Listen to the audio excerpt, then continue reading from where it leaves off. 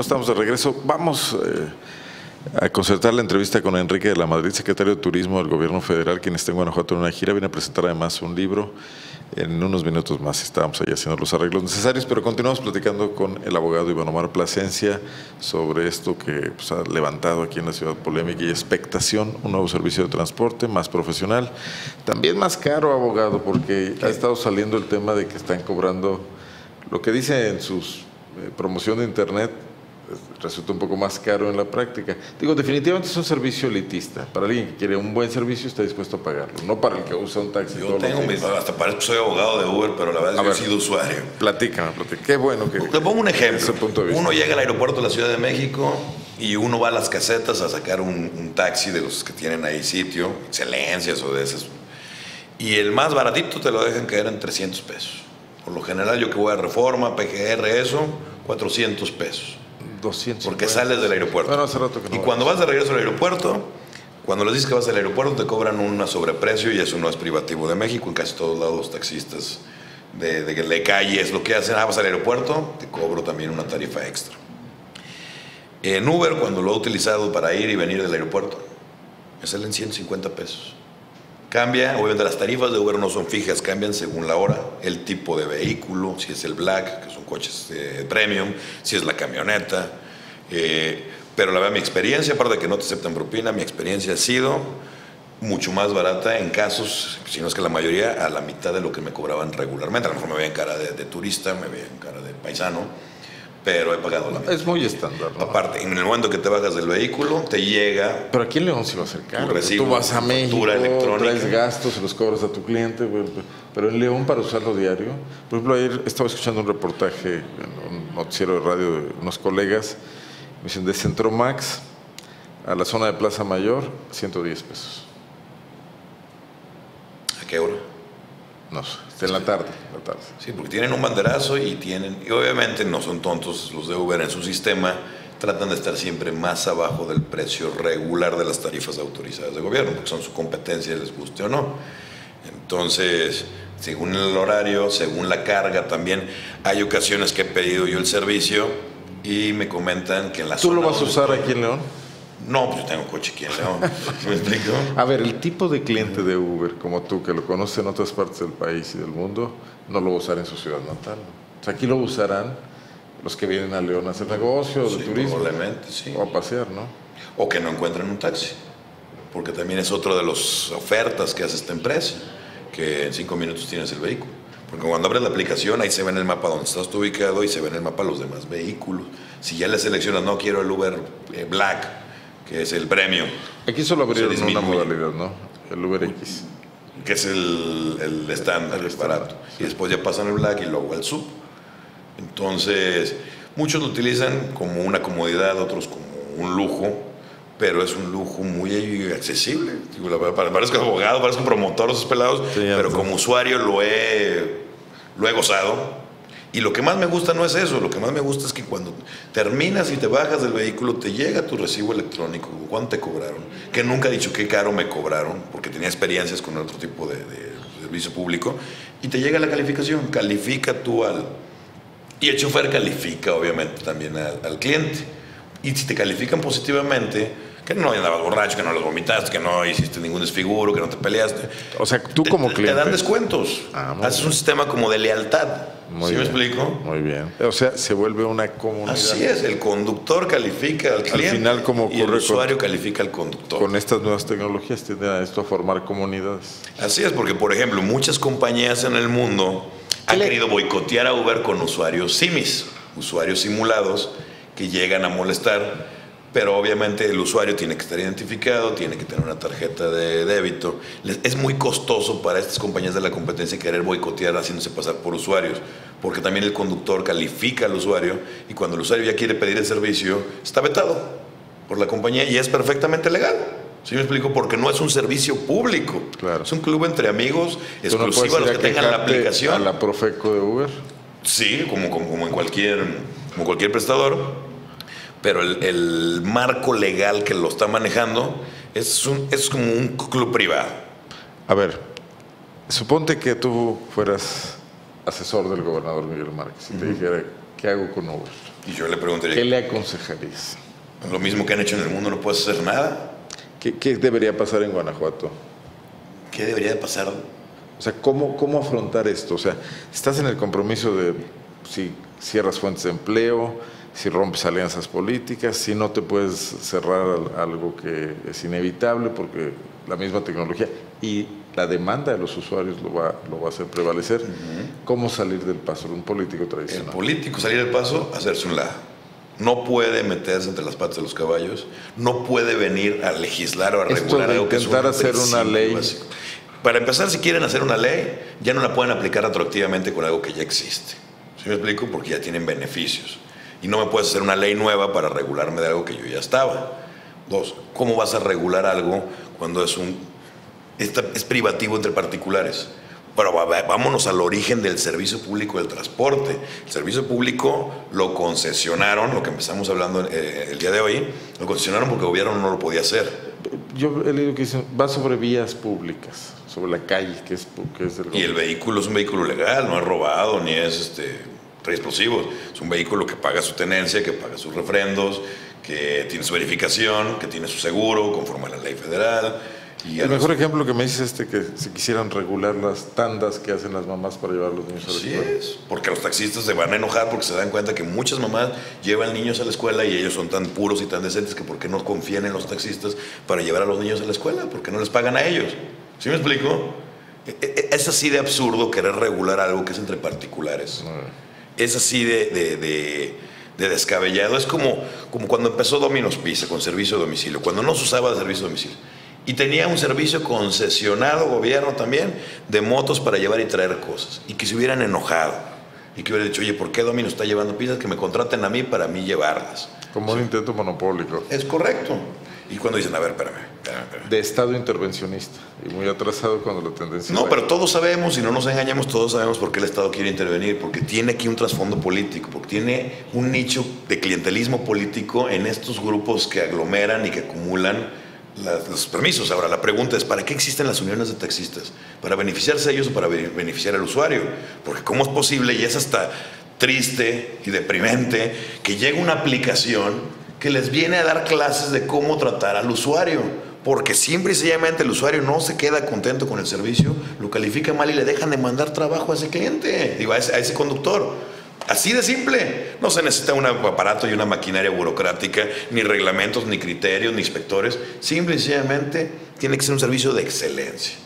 Entonces, las uniones de taxistas, ¿qué están cuidando? Vamos a juntarnos para dar mejor servicio. ¿Por qué no lo han hecho? ¿Por qué no lo hicieron antes? ¿Por qué no lo, por qué no lo siguen sin hacerlo? ¿Sí me Lo de Uber ahí venía el coco y desde hace años sabían que era inevitable. ¿Por qué? Por la regla número uno del capitalismo, oferta y demanda. Uber no llegó a León por casualidad. Abrieron una página de internet hace tiempo donde decía, apúntate si quieres ser conductor de Uber. Punto. Todavía ni te califico, si pasaste los exámenes, si tu coche pasa la revista, etc. Nada más apúntate. Y en León se apuntó infinidad de personas cuando dijeron, oye, en León tenemos un mundo de solicitudes. Obviamente los políticos, y me da risa, cuando llegan se dividen en dos. Los que quieren proteger el status quo sin importarles al, al usuario y los que quieren entrarle al negocio también vendiendo sus carritos. Ellos creen que es muy fácil. Como pesquera. Desconozco si lo habrán hecho, pero también varios políticos o, o familiares de políticos que también ha estado documentado que ya están metidos ahí con su carrito. ¿Sí me explico? Porque crees un gran negocio. Yo he hablado con los conductores y los choferes de, de- de Uber me comentan que antes fueron choferes de taxi y que ahora ganan muchísimo más de lo que ganaban como choferes de taxi. Entonces es ganar, ganar, gana el usuario, gana más el conductor, por lo tanto da mejor servicio. ¿Sí me explico? O sea, se quita toda esa burocracia, por ejemplo, el gobierno va a estar llorándole a que tienes que llevarlo cada año al, al refrendo de la concesión y este era un ingreso que se les va a disminuir o ya no, ya no se lo van a pagar. O sea, el gobierno tiene un problema, ¿por qué? Porque creó una bomba, en vez de adaptarse a los tiempos, en vez de actualizar, en vez de de verdad ponerse las pilas para que dieran un servicio de excelencia. Si tuviéramos un servicio público de excelencia, Uber, como llegaba, se va, o sería uno más, porque pues, hacen lo mismo que lo que ya estaban haciendo, más vale malo por conocido que bueno por conocer. Pero aquí llega alguien a darles clases y los políticos se vuelven locos con sus afanes proteccionistas, con esas declaraciones protagónicas como la de Torres Origel, de que es un servicio pirata. No, no, no es pirata. sea, y me sorprende que un legislador que ya ha sido legislador estatal y federal, que ha hecho leyes a pesar de que no es abogado, salga con un argumento así de simplón, ramplón, es pirata. No, no es pirata, señores. Entonces las rondas de las mamás también son piratas, porque hay que dárselas a los taxistas, porque ustedes los tienen que proteger. claro. Antes de que te vayas, y ya dejamos este tema de Uber, este, ahora es, siempre es el abogado del diablo, ahora es el abogado de Uber. ¿Cómo viste esta aparición de los exfuncionarios de Bárbara Botello Antier a dar una rueda de prensa diciendo que, bueno, no todos, Roberto Pesquera, Martín Ortiz, Vero García Barrios y Manuel Mora, los que esperan que la auditoría, auditoría que aprobaron los 36 diputados, hay que subrayarlo, incluyendo los del Verde, que eran sus aliados políticos, no sé si todavía, eh, que esperan que no sea sesgada, que el PAN no le meta mano, etcétera. De siempre fuimos la administración más auditada de la historia. El cambio tranquilo de, de, hace tres años ahora se convierte en un cambio jaloneado, ¿qué va a pasar? Pues fue un cambio nada más en primera, le faltó meter el segundo, tercera, pero el caso de las autorías yo siempre la celebro, yo siempre digo, bueno, la celebraban porque ahorita digo, cada tres años hay auditorías y nunca pasa nada, como si no supiéramos. Héctor López mandando a sus funcionarios a decir que le falta dinero, que no encuentra, que hay agujeros, etcétera tenso el ambiente entre las Cómo estuvo tenso cuando Bárbara sustituyó a Sheffield.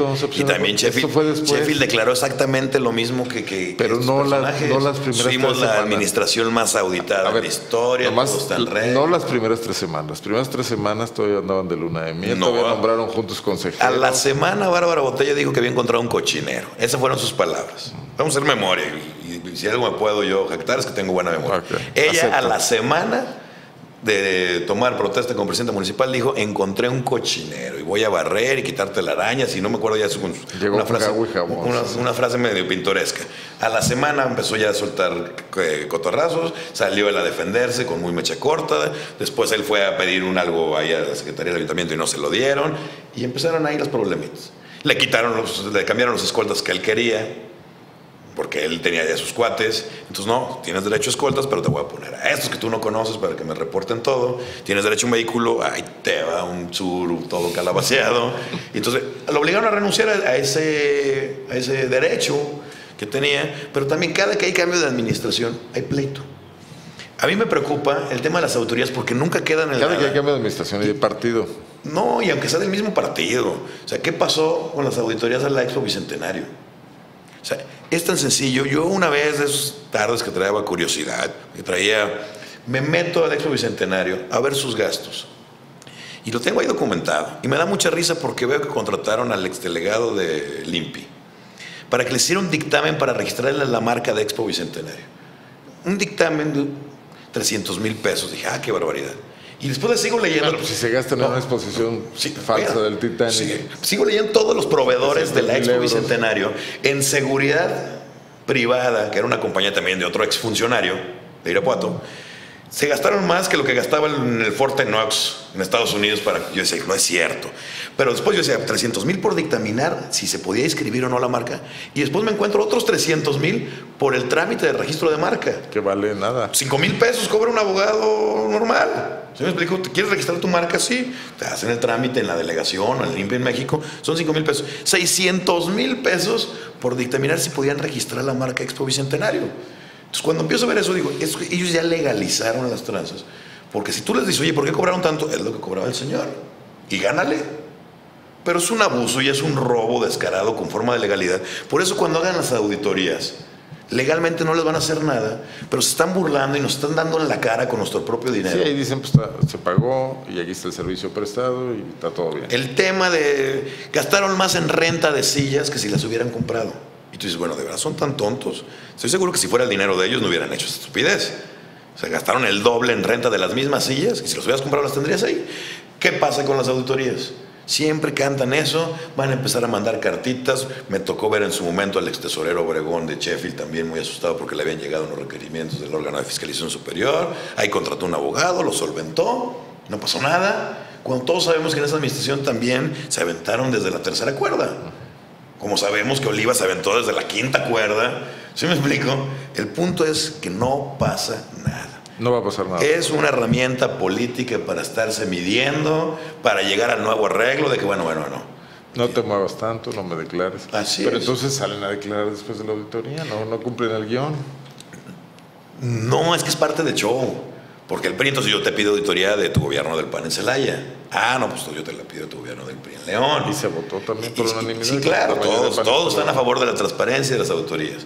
Entonces salen los funcionarios de León a decir, a ver, espérenme, no nos agarren de su barquito entre ustedes dos. Lo único que pedimos es que si el órgano de fiscalización superior obedece a los intereses del Congreso y el Congreso es mayoritario por el partido opositor, pues claro que lo único que pedimos es que sea una auditoría justa, una auditoría con criterios que no vengan sesgados, que no vengan inducidos, porque el simple hecho de cuando piden una auditoría ya nos están calificando a priori. ¿Sí me explico? Entonces los funcionarios van a decir, ellos saben que el hilo se rompe por lo más delgado. Y que los que van a pagar no va a ser el presidente municipal, ni el secretario, ni el tesorero. Van a agarrar a los tres ahí, directores, subdirectores de área, y les van a dar a llenar. Y el tema político. Todo es política. ¿Sí me explico? Todo es política, pero faltan tres años para las siguientes ¿Le afecta elecciones. o no le afecta Nada más. Botello? Es, es- por gobernabilidad. Bárbara Botello es un fenómeno donde yo nunca había visto tanta hazaña contra una persona, contra una figura política. El control IVA. por ejemplo. Oliva nada más un medio de comunicación, pero ese medio ya había tenido saña contra Vicente Guerrero, ya había tenido saña contra Gerardo Mosqueda, Oliva, eh, Bárbara. ¿Qué despierta esa ¿Cuál, cuál es la, la- la constante de agarrar saña? Entonces, bueno, a ese medio sí le gusta, su forma de trabajar. Pero aquí a Bárbara la agarraron ya de barquito todo el mundo. ¿Sí hay medios que la defienden. todavía. Sí, no, no, es que sí tiene cosas para defenderla. Nadie es completamente bueno ni completamente malo. El punto es ya el contexto, el ángulo que mencionan ahora estos funcionarios, el ángulo que le dan para culparla de todos los Bueno, es que males. tiene proyecto político, no quiere ser candidata a gobernadora. Debe preocupar al PAN eso, ¿no? Pues sí, pero como Y a para, muchos priistas también. pero como para darle a llenar, nada más por eso, porque levantó la mano. Es la temporada, es la oportunidad. se Acaba de salir, la administración tuvo problemas de popularidad, perdió la elección, etcétera. Bueno, puede- podría ser, pero sí están muy, muy ensañados cuando ella dejó. a- y, y lo curioso es que ella salió de la administración hace ocho meses y le siguen cargando todos los muertos como si ella hubiera terminado ahora el 9 de octubre. Y el doctor Villasana, que fue el que la continuó, pues como que, todo- como que le ignoran, como si tú no cuentas, oye, espérame, pues aventó más de medio año. Sí, Bueno, él no sí, jugó. siguió muy activa eh, hasta el ¿Eh? final. Siguió muy activa hasta el final. Como se puede Pues decir. sí, no, porque bueno, pues, estamos creyendo en las instituciones o de qué se trata, ¿sí me explico? Entonces el tema de las autoridades es algo normal, tristemente. Cuando son del mismo partido, pues ya sabemos cómo van a terminar. Cuando son de un partido a otro, a lo mejor, si no hay arreglos en el Congreso de que me vas a pasar estas reformas, ahorita están haciendo ya su carta. Rey Mago. mayoría. Le voy a pegar a tus exfuncionarios de tu partido para, de- ahora sí que desacreditarte, pero todo es política. Y el punto es que ya no nos chupamos el dedo, sabemos que así es, y por eso los candidatos independientes están teniendo auge. Porque la gente, el ciudadano común, que no somos tan tontos como los políticos, creen que sí nos sube un poquito a Gualtinago, que sí nos damos cuenta que en todos lados se cuecen habas, que todos son una cochinada. Ve todo lo que está saliendo aquí, que se clavaron una lana que para las casas de la cultura, que los otros también se clavaron una. Y, y tú dices, Gerardo Sánchez. Sí, güey. Y, y tú dices, a ver, si es cierto o no es cierto, ahora sí que difama que algo queda, pero el chiste es que cuando ya tiene datos duros, dices, No, bueno, como el reportaje es una frase que está muy documentado. ¿no? sí, es una declaración de don Pánfilo lo que... No, no, el reportaje del lunes tiene. Ah, no sé, por no, las declaraciones de don... Los Don documentos. 60 mil pesos que... 6 millones de pesos que están documentados eh, como que se hicieron cosas que no se hicieron, los mismos documentos de elección. Por ejemplo, dice Festival Cultural en San Luis de la Paz y las los fotografías que se anexan son de la Lóndiga de Granaditas. Ah, qué barbaridad. No, pues sí. Se la Instrumen- llevaron, imagínate ¿Cuánto costó llevarse la Londres? Instrumentos musicales para hacer bandas de viento que costaron en 2012 el doble que en Lo que te 2015. estoy diciendo, como un registro de marca en 600 mil Y pesos. es ¿eh? información que el propio Conaculta nos proporcionó por acceso de cómo se le comprobó a ellos. Y bueno, pues, Ni, ni un violín Stradivarius hubiera costado lo que... bueno, pero es- tienes que leer ese reportaje. En bueno. todos lados se cuecen habas. A lo que voy es que el ciudadano de pie, los medios de comunicación, que cuando les conviene tienen buena memoria y cuando no les conviene tienen muy mala memoria. Ya nos vas a atacar a nosotros. No, no, no, no, no, es una realidad. No, no, no. Es que, es que todo el mundo es muy radical. Creen que porque hablo mal de una conducta estoy hablando mal de todo un Se vale, partidista. además aquí se vale. ¿Sí me explico? Yo, yo no descalifico personas, yo descalifico conductas. O sea, si me preguntas por alguien que hace una opinión desinformada, yo no digo, es un tonto. Está- Descalifico la conducta. Nadie puede dar una opinión sin informarse. Me parece. primero. Y ¿Sí me también los medios merecemos ser criticados. Los medios, claro, pero el problema es que son radicales. No los puedes tocar porque se te echan encima a todos. Una logia. No, pero ya no todos juntos. ¿Ya no estamos juntos? Bueno, uno después del otro. es- es- como relausos Vamos a dejarlo serranos. aquí, ¿te parece? Y, y nos vemos pronto. Claro que sí, con mucho gusto. semanas. Con todo gusto, claro que sí. Le agradezco mucho a Iván Omar Plasencia que viene y nos comparte información, opinión, puntos de vista con mucha convicción siempre, lo cual es de agradecerse. Voy a una pausa para continuar. Estamos pendientes de esta llamada con el secretario de Turismo y también tenemos información para cerrar.